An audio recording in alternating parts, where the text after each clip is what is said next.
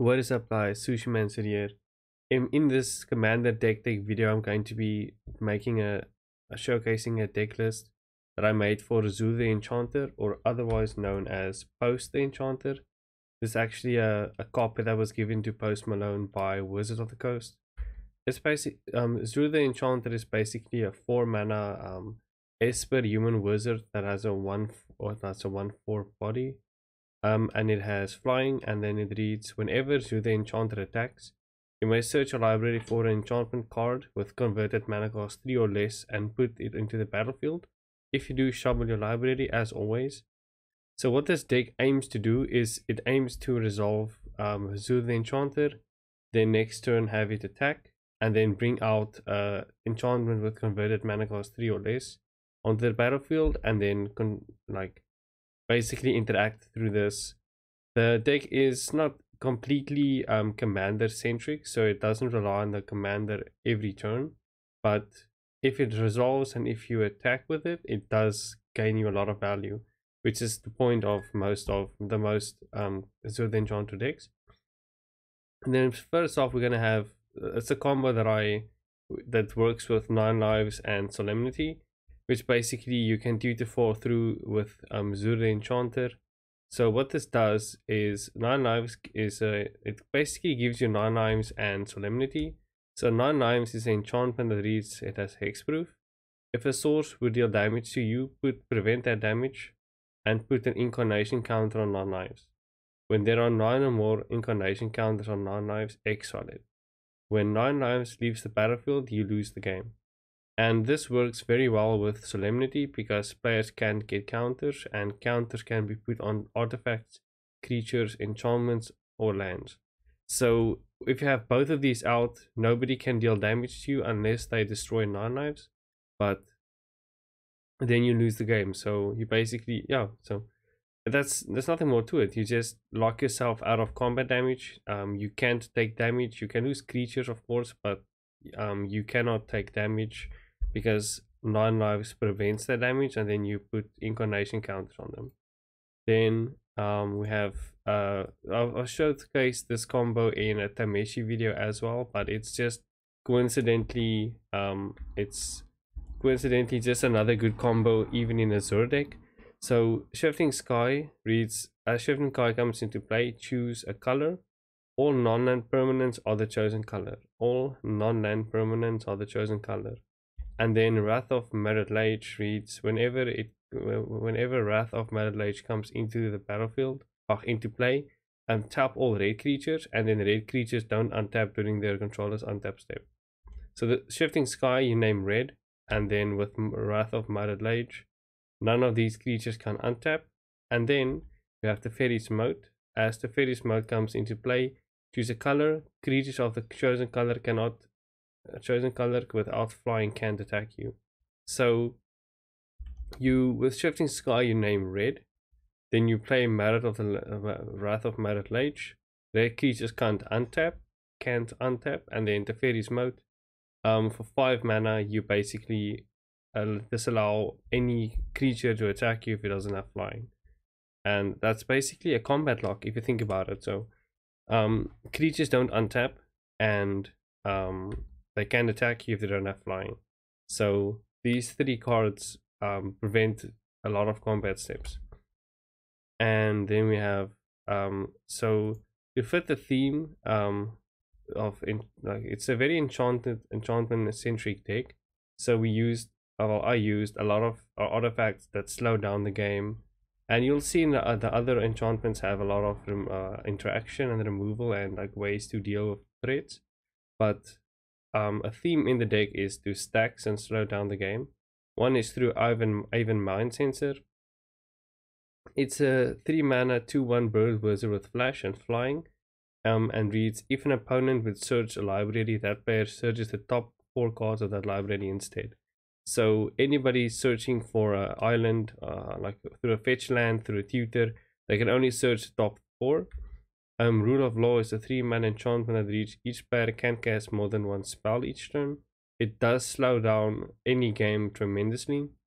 Um, hesitation, if any spell is played, counter that spell or sacrifice and sacrifice hesitation. So hesitation counters any first spell that was played since it's resolved.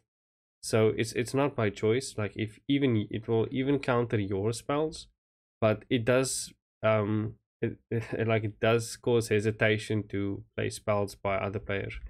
And then Confounding Conundrum, it's a two mana enchantment that reads when Confounding Conundrum enters the battlefield, draw a card.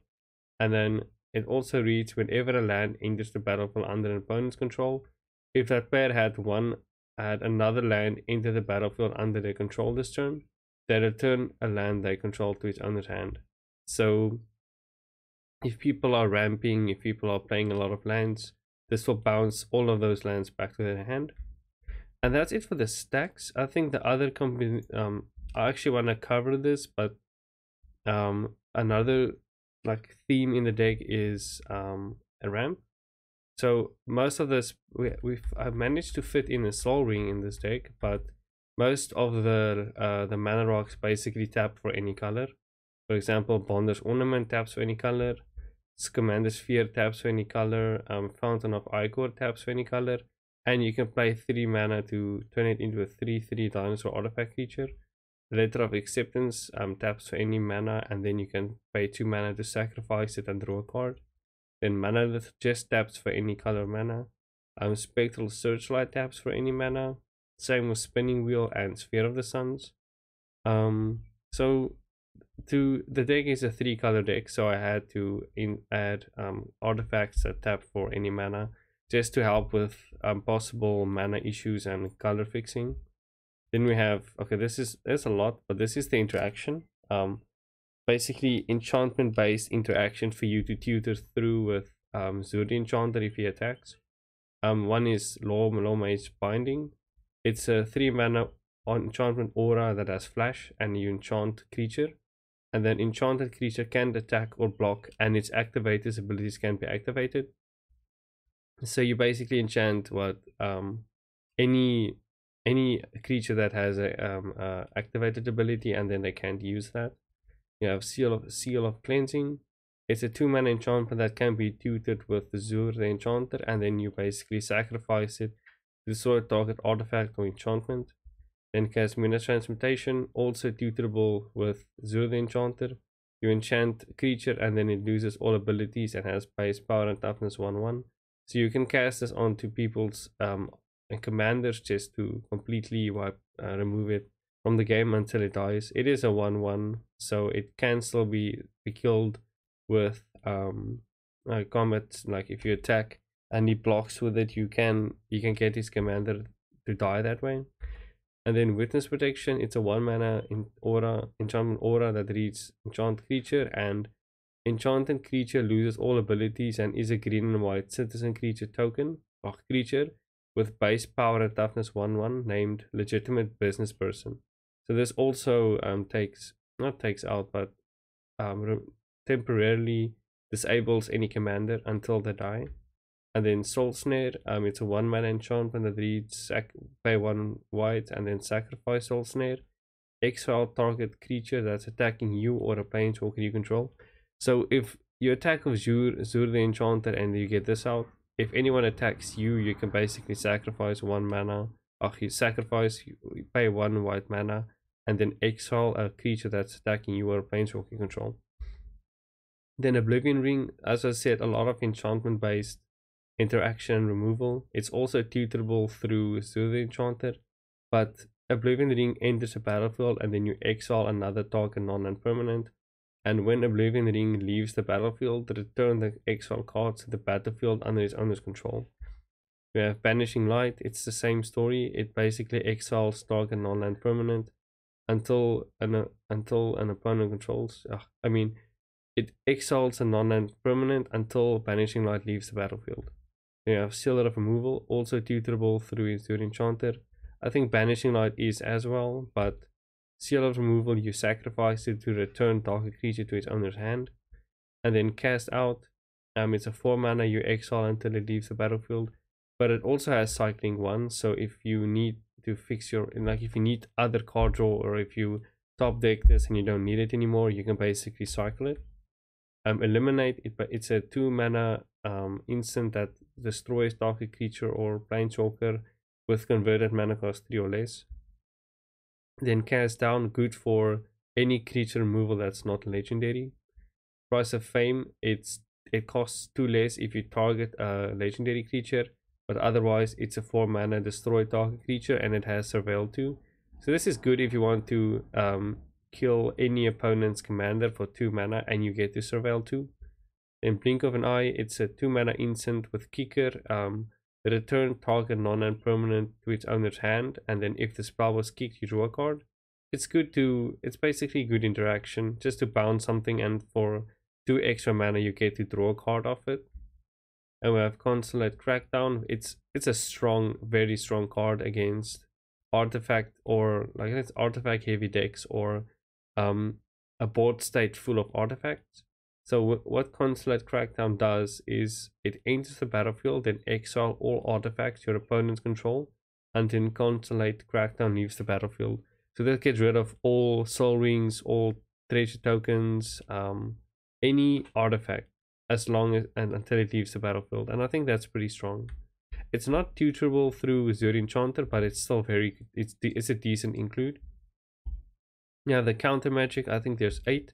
One is Supreme Will. It it counters target spell unless they pay three, or you can look at the top four cards of your library, put one of them into your hand and the rest on the bottom of your library in any order.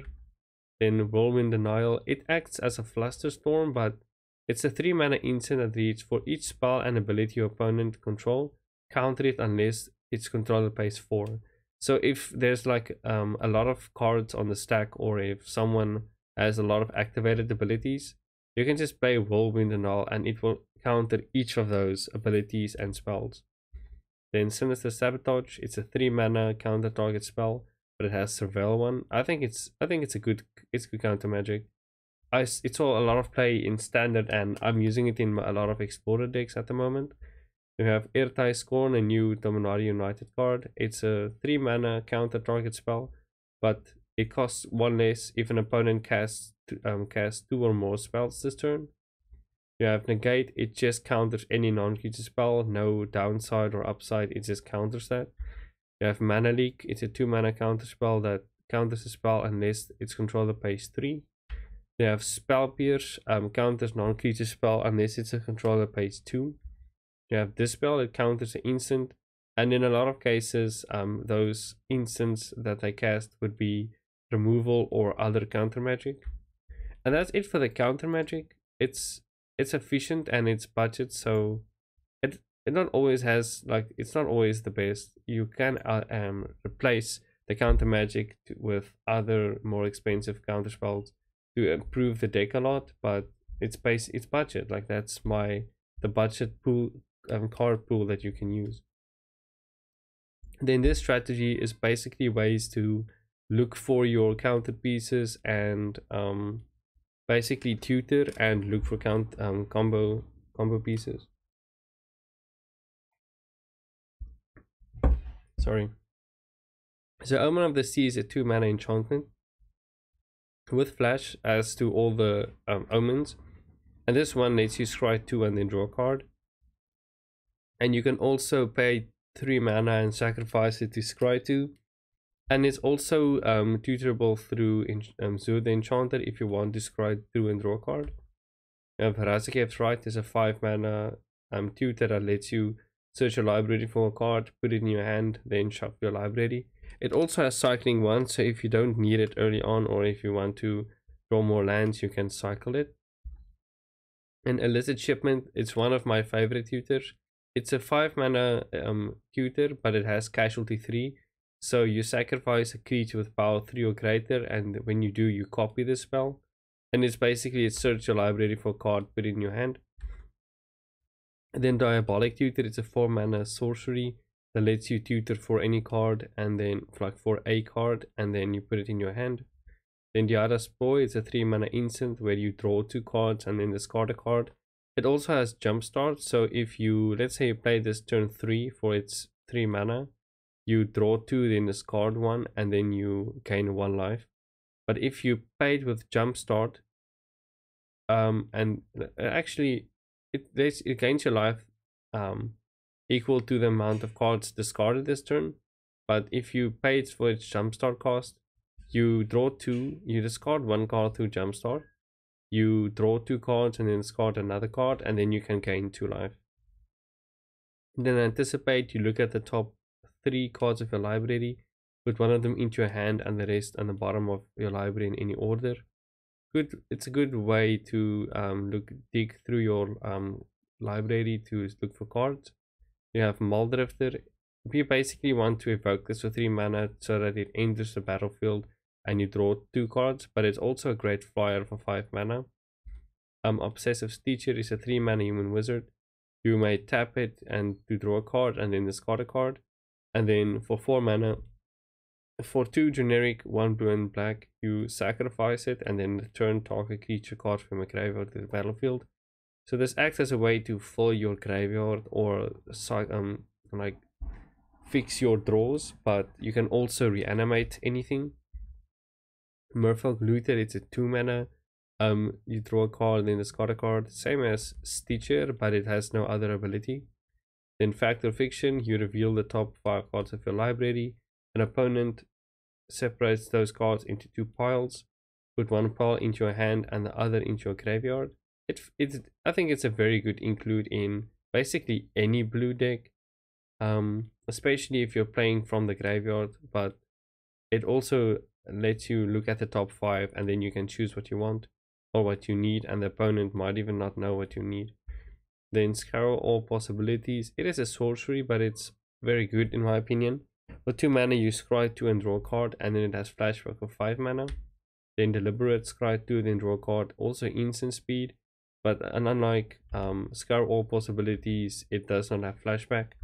Then you have opt, scry 1, draw a card, very good for um, like very good for fixing draws. And that's it for the way to look for combos.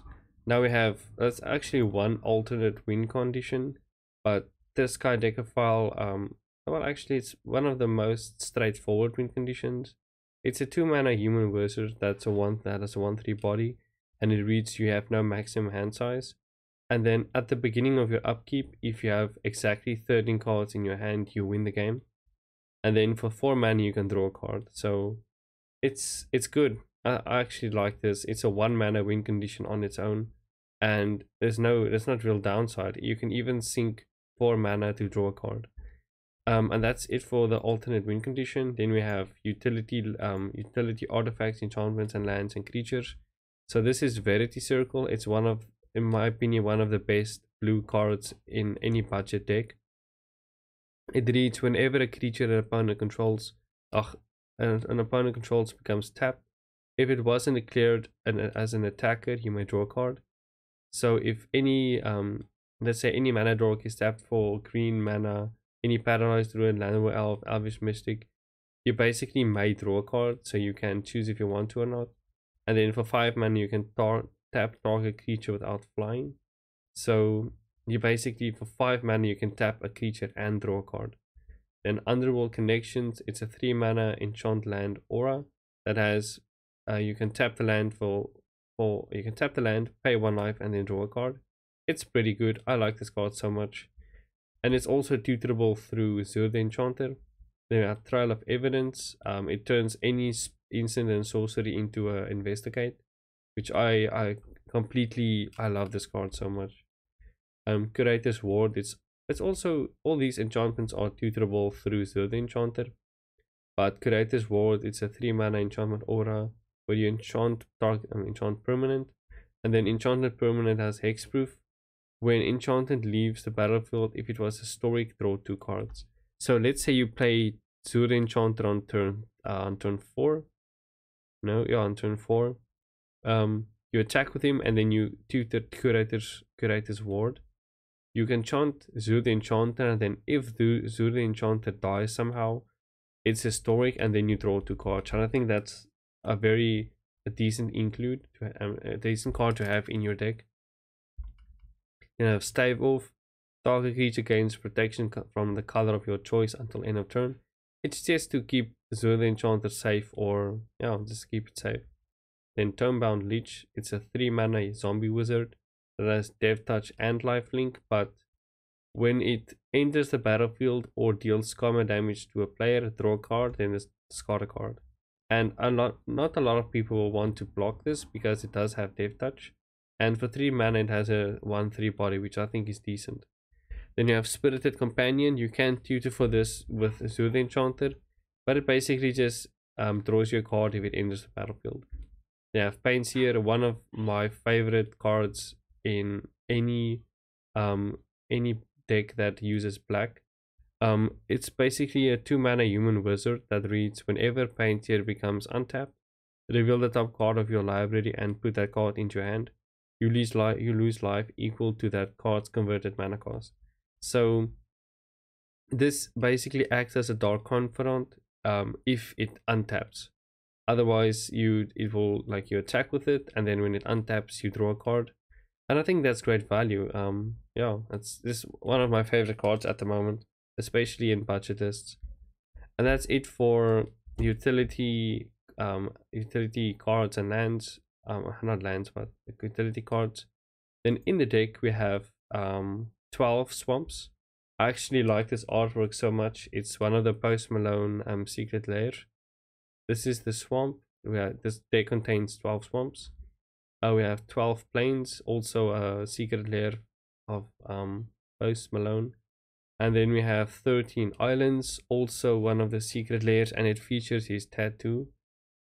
Um, but yeah, that's that's it for the deck. Um, it was a blast building this and I actually might build this in paper not exactly this list I might go non-budget but it's it's just a great commander and it's in my opinion a great deck it's a, a, a lot of fun to pilot and um, it's very easy to build on a budget but yeah guys I hope you guys enjoyed this video. Um, check out my social media. I haven't posted on Instagram and Twitter in a while. I've been quite busy with some in in real life stuff.